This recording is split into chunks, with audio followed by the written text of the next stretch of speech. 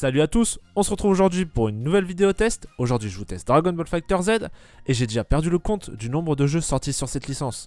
Elle continue d'être l'une des séries d'animation les plus célèbres au monde et la dernière série en date a finalement éveillé la flamme chez de nombreux fans.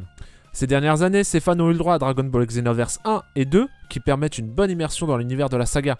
Mais ce Dragon Ball Fighter Z est quelque chose de très différent. Ici, la priorité était le système de combat, le gameplay et aussi les graphismes. Dès son annonce, Dragon Ball Factor Z semble dégager un potentiel d'être quelque chose de spécial, et les bêta-tests multiples des derniers mois ont contribué à renforcer cette idée. Maintenant que j'ai pu toucher à la version finale, je peux vous confirmer que le jeu propose un moteur graphique exceptionnel et un gameplay bien amusant, mais en termes de contenu, il n'a pas répondu aux attentes. Allez, trêve de bavardage, on passe au sérieux.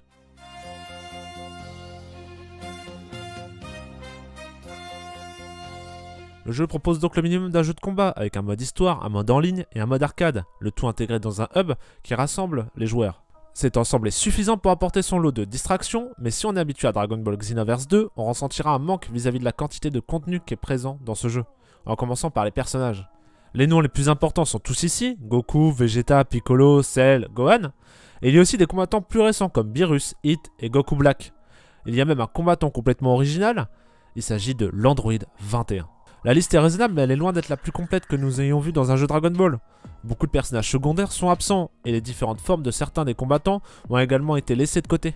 On ne peut pas jouer actuellement avec le Goku normal par exemple, ou avec les différentes transformations de Cell ou de Freezer. Il y a quelques transformations dans le jeu comme Goku SSJ3, mais elles se produisent dans le cadre d'une attaque spéciale et disparaissent dès la fin du mouvement. Cette courte gamme de personnages et l'impossibilité de transformer autre que temporairement les personnages en combat vont certainement décevoir certains joueurs. Ensuite, il y a le mode histoire qui a été une désillusion totale pour ma part. C'est un récit complètement original qui raconte comment des vagues d'énergie mystérieuse ont volé le pouvoir de presque tous les combattants. Seuls ceux qui ont une âme inconnue, donc le joueur, peuvent retrouver leur pouvoir. L'histoire est racontée à travers des séquences entre les différents combats en utilisant le moteur du jeu. Mais ce que vous verrez se résume principalement à de la conversation. Le script est assez faible et enfantin, mais c'est dans les modèles habituels de la saga.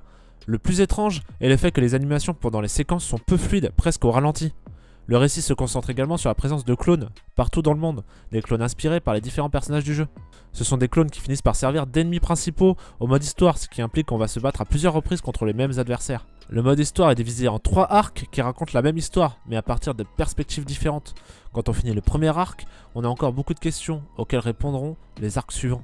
Chaque chapitre comprend une aire de jeu sous la forme d'une planche où plusieurs pièces sont positionnées. On y trouve alors la mission principale, des combats secondaires où vous pouvez gagner des objets, ainsi que des batailles qui vous permettront de débloquer d'autres personnages. Le nombre de pas que le joueur peut effectuer sur cette map est limité, mais il y aura toujours assez d'étapes pour accomplir la plupart des objectifs sans problème. Parfois des combats supplémentaires se produisent après avoir navigué sur la map, et qui vous donneront des avantages si vous les gagnez, mais restent pour la plupart trop faciles. À moins que j'ai raté une option, il n'y a aucun moyen de changer la difficulté du mode histoire, et tel que j'ai réussi la majorité des combats sans perdre de vie ou mourir. Même des combats contre des ennemis assez puissants ont été exagérément faciles. Et cela supprime toute tension ou enthousiasme vis-à-vis du jeu, car il ne nécessite aucun effort de notre part. Peut-être que quelque chose manque ici, une option cachée que je n'ai pas trouvée, ou peut-être que Arc System Works prépare des changements via les prochaines mises à jour.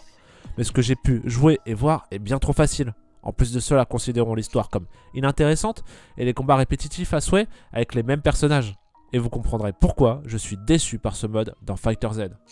Bon, j'ai fini par aimer le plus le mode arcade. Ici, la difficulté est plus équilibrée et s'améliore à mesure qu'on avance dans les combats. Il existe 3 variantes du mode arcade avec 3, 5 et 7 combats, et chaque variante a un second format difficile pour ceux qui cherchent du challenge. Cependant, pour le plus grand challenge, ce sera en ligne, contre d'autres joueurs. D'après ce que j'ai pu voir pendant les bêtas, ainsi que les quelques combats dans cette dernière version, le jeu fonctionne parfaitement bien. En plus des combats, on peut alors interagir avec d'autres joueurs à travers la zone centrale. Ici, vous pouvez choisir un personnage de la saga pour vous représenter. Il y a un certain nombre d'éléments de personnalisation qui peuvent être débloqués. Nouveaux personnages, couleurs, titres, symboles, tout cela peut être débloqué avec l'achat de capsules. Ce sont des sortes de loot box, donc en forme de capsules, qui peuvent être achetées avec des pièces de monnaie, qui se récoltent en accomplissant des combats ou des missions. Le meilleur élément que dispose Dragon Ball Fighter Z est vraiment le moteur graphique. C'est spectaculaire comment les modèles 3D dans le jeu peuvent recréer si bien le look animé de la série. Cela ressemble à un épisode de grande qualité avec des personnages très détaillés et d'excellents effets visuels. Les effets sonores sont également dans ce que nous pouvons entendre d'un jeu Dragon Ball, et les fans vont sûrement apprécier l'option de jouer avec des voix anglaises ou japonaises. Et puis, nous avons son gameplay. Dragon Ball Fighter Z fonctionne comme un jeu de combat 2D et utilise un système de jeu extrêmement fluide et rapide. Tout est très rapide, spectaculaire, avec un gameplay relativement accessible. Les combinaisons sont faciles à exécuter, et le jeu trouve un bon équilibre entre rester fidèle à la série et proposer un jeu de combat avec un rythme de jeu rapide. Après avoir passé les tutoriels, on sait alors à quoi nous attendre. Le système de combat est basé sur des combats en 3 versus 3, bien qu'un seul combattant soit actif de chaque côté. On peut alterner entre les combattants à tout moment et on peut aussi demander leurs aides. C'est un facteur très important du gameplay et pour réussir dans les batailles les plus difficiles, vous devez apprendre à utiliser l'aide et l'échange de personnages. Quand un personnage est sorti de l'arène, il peut régénérer une partie de sa santé, ce qui offre également un certain caractère tactique au jeu. Le plus grand problème avec ce système s'avère d'être la confusion créée sur l'écran. Avec un gameplay aussi rapide et des effets qui remplissent de grandes parties de l'écran, il est parfois difficile de voir ce qui se passe. Les personnages ont leurs différences, mais en termes de contrôle, ils sont tous les mêmes. C'est quelque chose de commun dans ce genre d'adaptation, mais qui finit par apporter de la profondeur et de la variété au gameplay. Cependant, la chose la plus importante à garder à l'esprit est que le système de combat de Dragon Ball Fighter Z est accessible et amusant, avec une certaine marge de manœuvre pour évoluer. Dragon Ball Fighter Z est un vrai jeu de combat, plus proche dans le gameplay de quelque chose comme Marvel vs Capcom Infinite que Dragon Ball Xenoverse ou Dragon Ball Battle of Z. Dans le domaine du graphisme et du gameplay, Dragon Ball Fighter Z est le meilleur jeu de la saga depuis quelques temps, mais je pense qu'en termes de contenu, il y a encore beaucoup à améliorer. L'année dernière, nous avions d'excellents jeux de combat comme Injustice 2, Tekken 7, Marvel vs Capcom Infinite. En comparaison, Fighter Z s'avère être au niveau, mais pas meilleur ni parfait. Mais si on est fan de Dragon Ball, ce sont des heures de plaisir qui nous attendent, tant qu'on est conscient des points négatifs du jeu. Et la note finale est un petit 15 sur 20.